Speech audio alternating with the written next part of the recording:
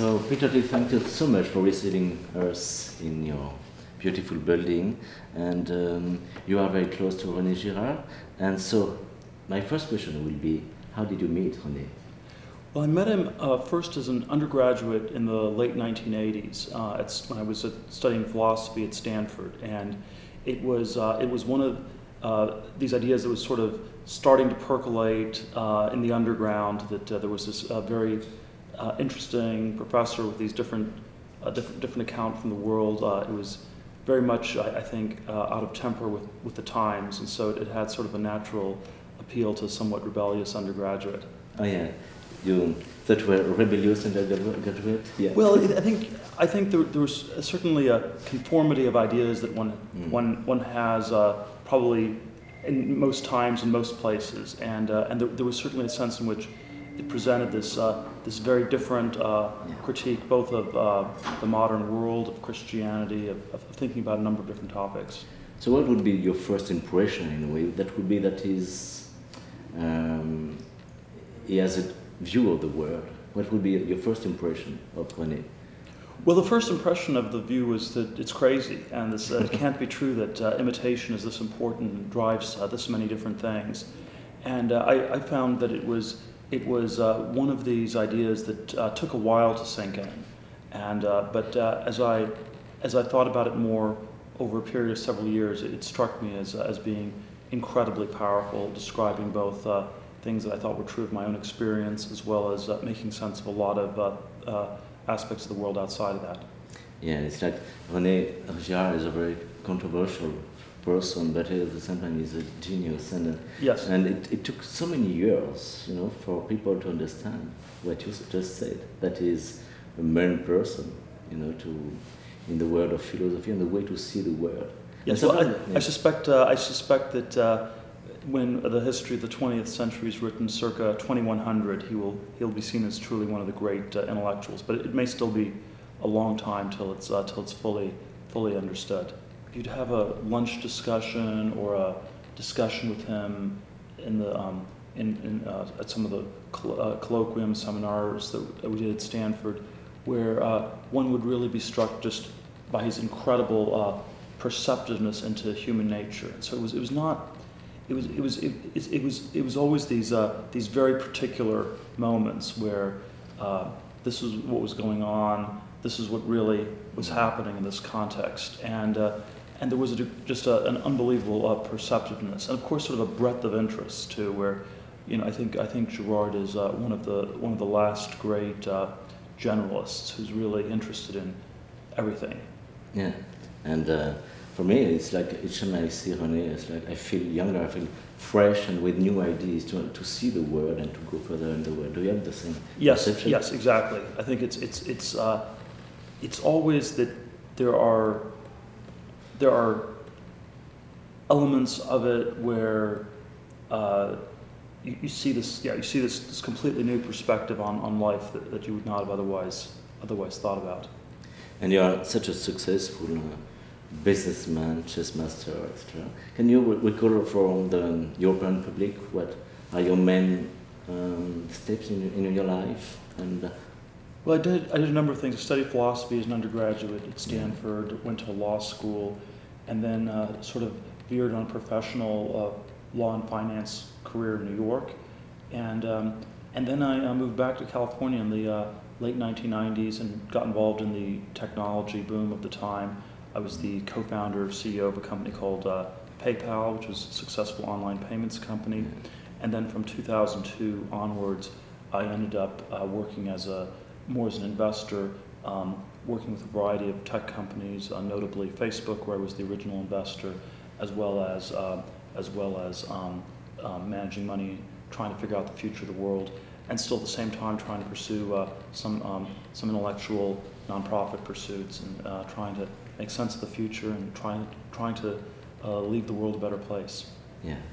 And so, but how mimetic theory has influenced your business in a way, your way to see the world and to, to, to do business? Well, I, yeah.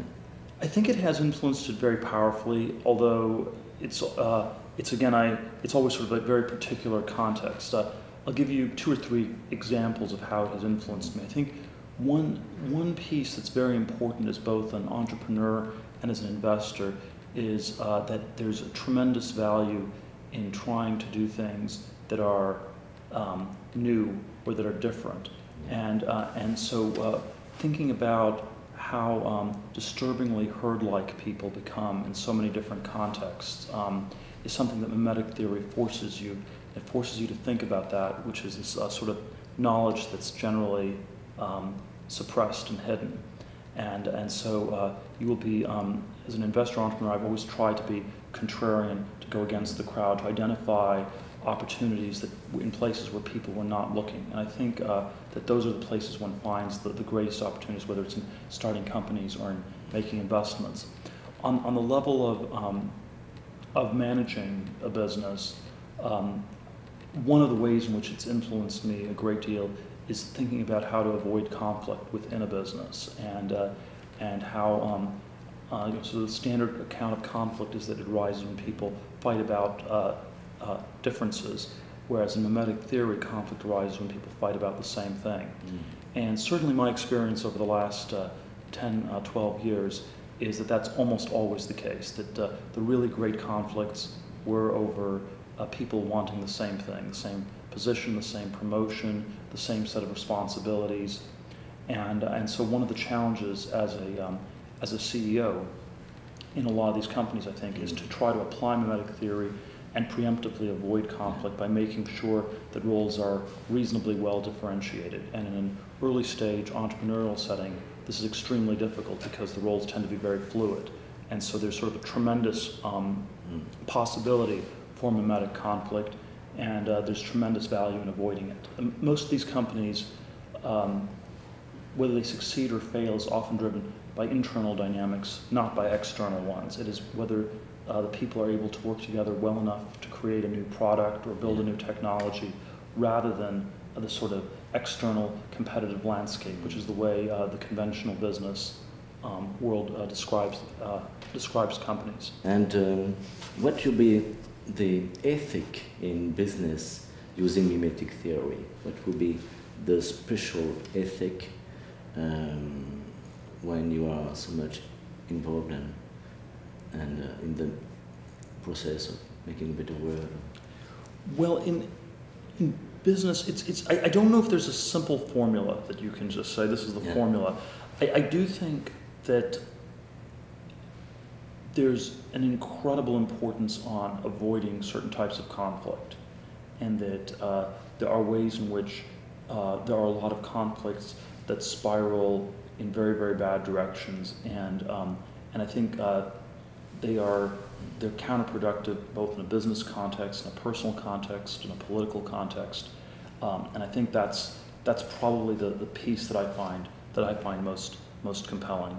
Um, but then also probably understanding uh, what healthy relationships look like, where uh, you know you, are mentoring somebody in a way that's constructive, where there's no rivalry, or um, and and figuring out a good way to sort of collaborate with people and trying to avoid um, sort of um, the bad aspects of mimesis while keeping the good.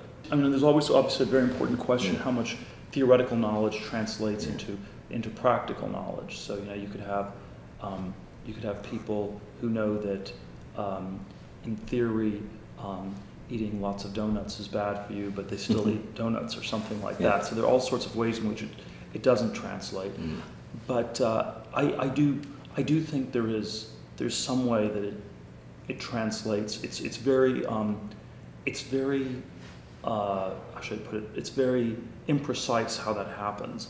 Uh, but I do think obviously there's a general sense where uh, scapegoating mm. only works if you do not know who the scapegoat is. And so as the mechanism gets better understood, I think it will become harder to do.